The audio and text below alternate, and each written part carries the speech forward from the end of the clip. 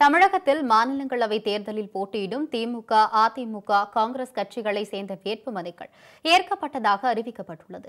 தமிழகத்தில் காலியாக உள்ள ஆறு மாநிலங்களவை இடங்களுக்கு தேர்தல் அறிவிப்பு வெளியிடப்பட்டது.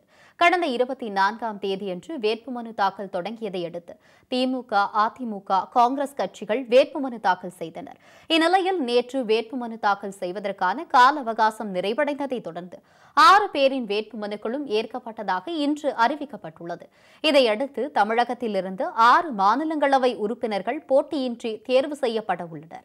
நாடு முழுவதும் மொத்தம் பதினைந்து மாநிலங்களிலிருந்து மாநிலங்களவைக்கு தேர்ந்தெடுக்கப்பட்ட ஐம்பத்தி ஏழு உறுப்பினர்களின் பதவிக்காலம் நிறைவடைய உள்ள நிலையில்.